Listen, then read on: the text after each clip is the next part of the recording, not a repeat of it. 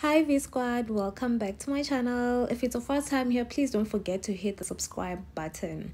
Manaka Ranaka, who is Dineo Ranaka's sister, went on to post this on the social media. So she went on to say, Ish, ho hi Dineo, I'll always be here for you. On Sunday, when I was missing like I've never before, you are the only person that reached out. Today was the toughest day at work. Although we spoke for about an hour about what you're going through, I love you. I appreciate you. I'm here for you. I'll go to the ends of the world for you. I pray for you. I pasha for you. I believe in you. I hear you and I see you. So this comes after Dineo Ranaka has been open about her mental health battles.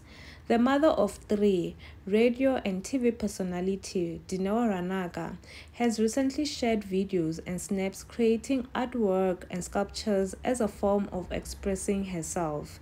In her recent post on social media, Dineo Ranaka shared how she understands people who are suicidal. In a series of posts, she shares how staying alive is a struggle. I completely understand souls, spirits, people that commit suicide. I get it. I get them.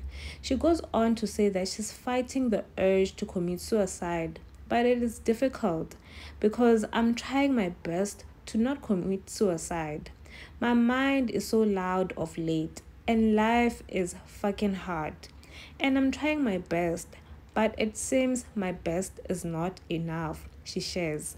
My children, God, abantwana bam. Not long ago, Dineo Ranaka opened up about suffering depression and anxiety.